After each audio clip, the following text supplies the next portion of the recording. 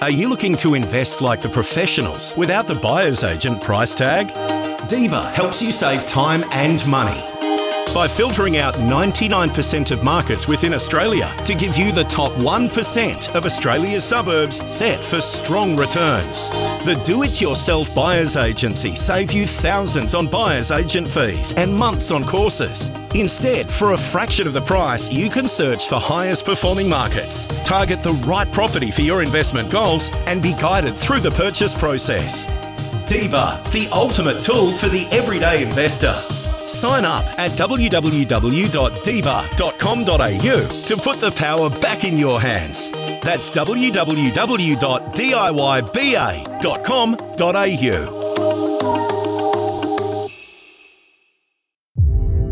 This is a Momentum Media production.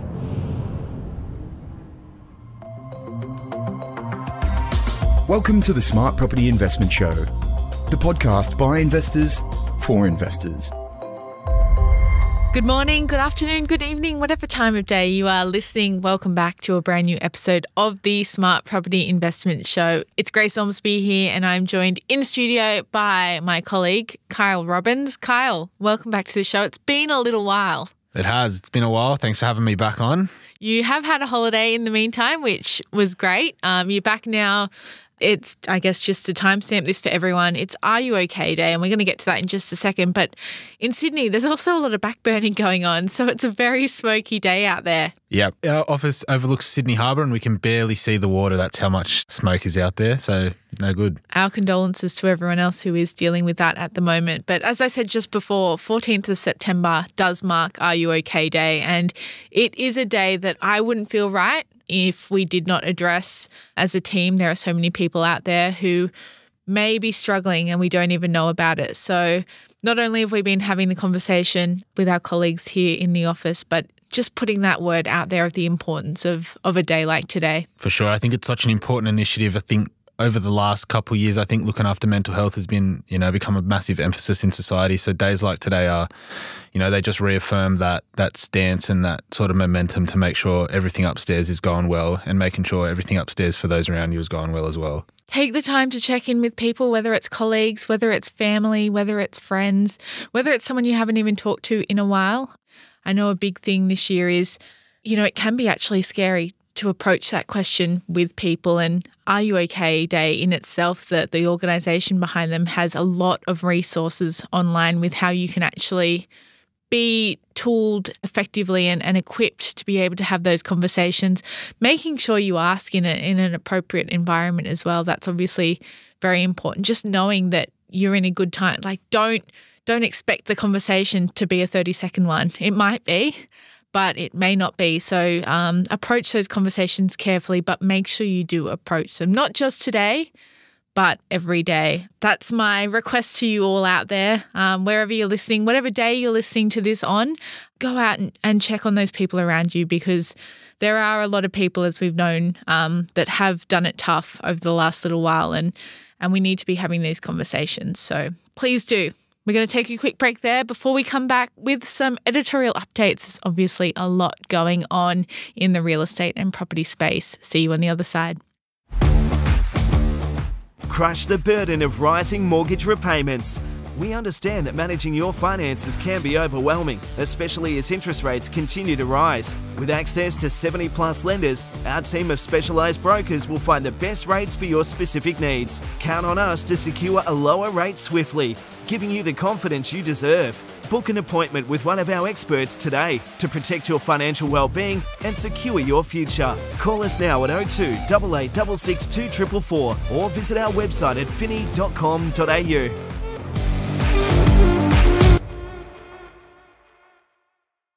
Welcome back to this episode. We are about to unpack some of the biggest things that have been going on in the editorial world at the moment. I know that we're actually coming off the back of a pretty recent editorial update, but there has just been so much going on. September is obviously spring selling season, usually a very busy time for the property and real estate sectors, but this year has felt even busier than usual, Kyle. Yeah, it feels like sort of all this pent up sales activity over the, I guess, the last 18 months while rates have risen is just now being released. I was just doing the auction preview for this coming weekend, and it, it's set to be Australia's second busiest week of the year. So that's some indicator of how how spring has sprung.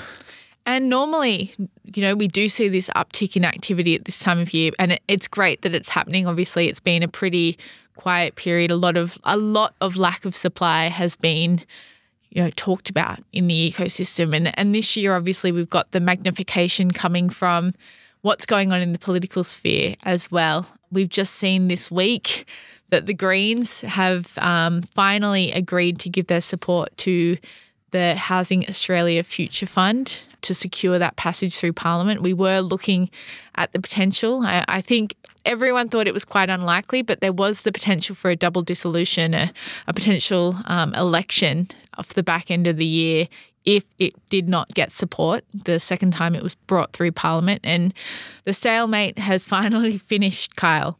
Yes, we have liftoff, as the Real Estate Institute of Australia put it. And don't we have liftoff? It didn't take much for the Labor to get the Greens on board. It just took an extra $1 billion committed to social and affordable just, housing. Just a little bit. Just a cheeky one bill. And that's not even included in the HAFF. That's a completely separate deal that Labor have negotiated with, I guess, the Greens. But I think it's good for everyone. I think uh, people are glad that we don't have to go back to the polls. No one really enjoys democracy sausage as much as they say, let's be honest. But yeah, uh, finally, it's uh, been a long, I'm going to say six months. Well, really, if you want to take it back, it we've been talking about it for even longer, given that it was a, a central An election, election promise, yeah. of Anthony Albanese's party going into that last election. So we've been hearing about it for a long time, and I think it was becoming an uncomfortably long period, given how acute Australia's housing crisis has become, and how acute it's going to stay for a long time. Um, there's obviously been a lot of commentary around about none of these things can be addressed overnight, especially when you're talking about housing supply against a backdrop of construction companies going bust, rising costs of construction, locked up land supply needing mm-hmm. to go through a lot of checks and procedures to to be released. Yep. So we're going to be hearing about this for a long time still to come, but obviously, you know, some great news coming out this week that that is to go ahead. Obviously, the passage still needs to go back to the House of Representatives before it can be become a bill and be passed into law, and then we will obviously see the eventual listing on the ASX of the Housing Australia Future Fund, that $10 billion bit of funding. Um, and I mean, that in itself is going, there's a lot of things that will need to go on behind the scenes before that is the case. But obviously, it's always a great thing to see more money pushed towards social and affordable housing.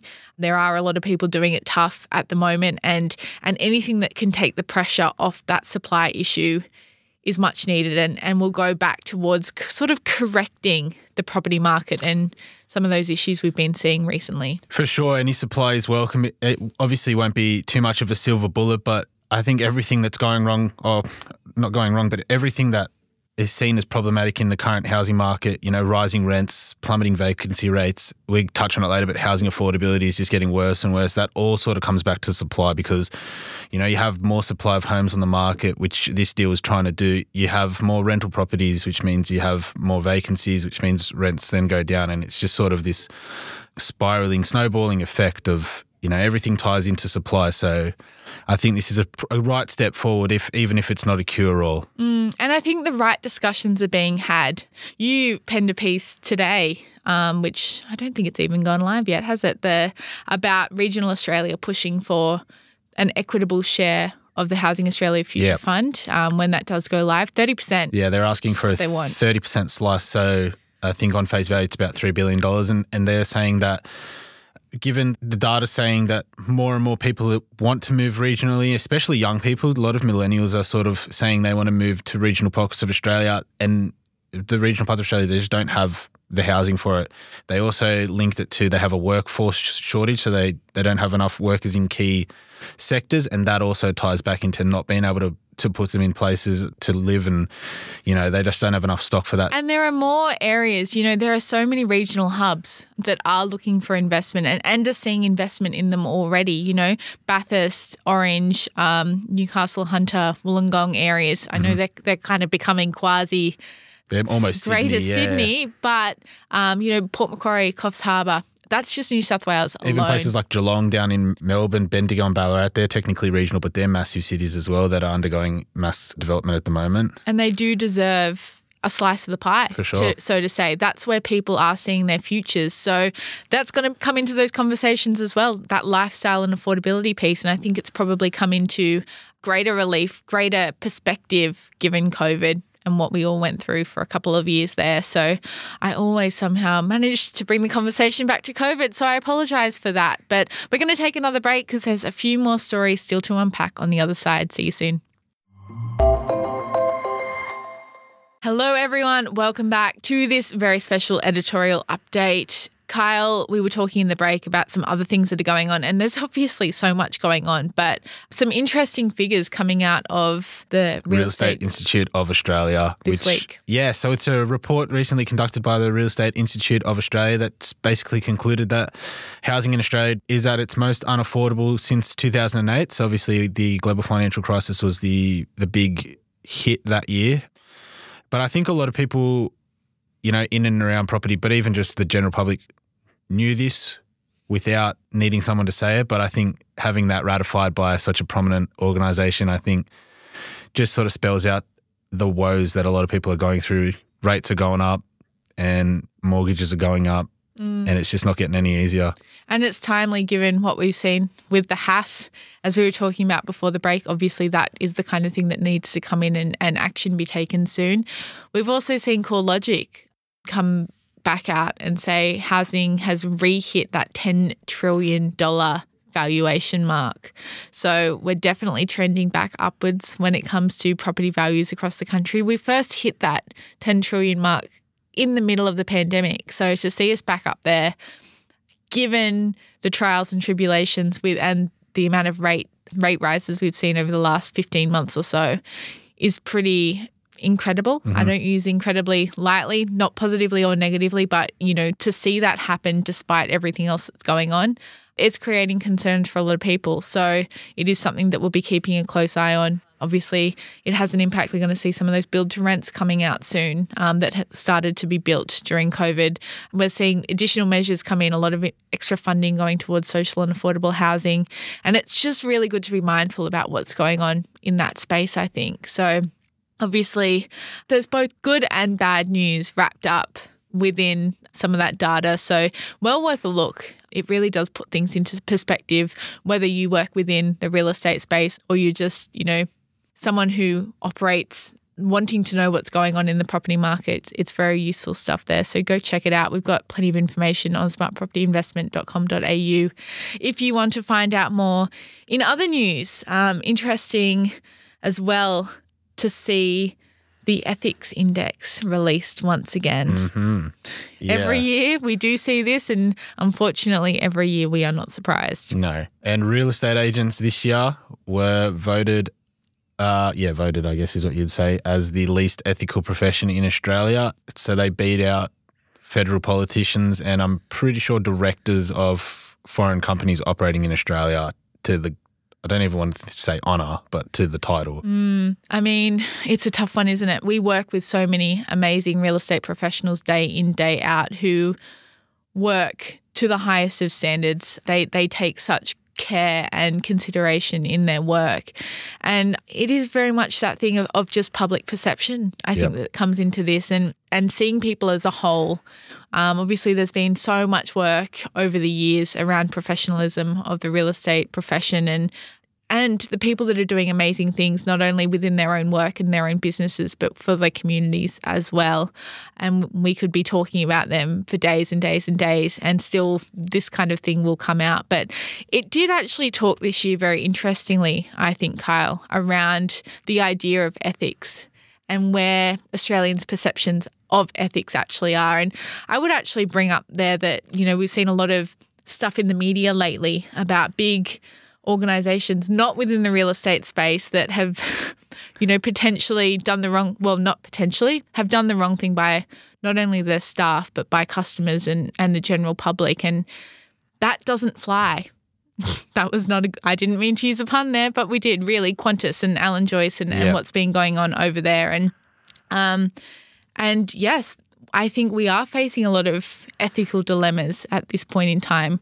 What kind of behavior constitutes ethical and ethical behavior and, and even artificial intelligence? Yeah, there was a big one in there talking about uh, like companies that have products or they have text or anything generated by artificial intelligence, they want disclosure. Just back on the ethics stuff, so did their uh, index did say that the Australian public valued ethics like higher than any point in history, and it was largely driven by millennials and Gen Xers. So maybe it's not just so much that there's a lot of unethical activity going on, but it's I think a lot more people are switching on to or not letting such unethical behavior slide whereas maybe in past in years gone by that might have been the case so i think it's it's this younger generation that are just sort of they have their eye on ethics and they they seem like they're not going to keep stop watching ethics. Mm, i mean that's a really good point to make. And and anyone out there that's operating a business if you want to be targeting or tapping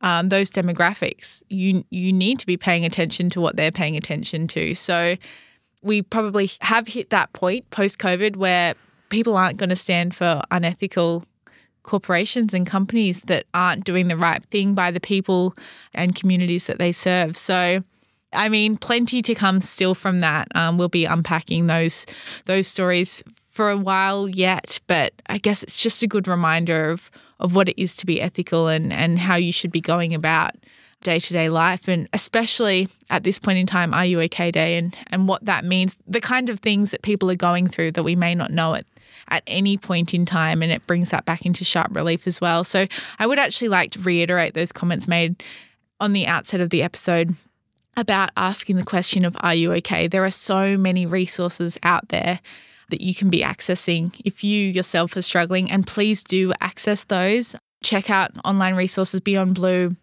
OK has a lot of information on their website as well, the Black Dog Institute, to name a few. Thank you again for listening into this episode. If you have any questions, editor at smartpropertyinvestment.com.au. Subscribe to our newsletter if you haven't already and stay up to date with us for all the latest news across our social media Facebook, Twitter, LinkedIn, and Instagram. Until next time, stay safe and well wherever you are listening from.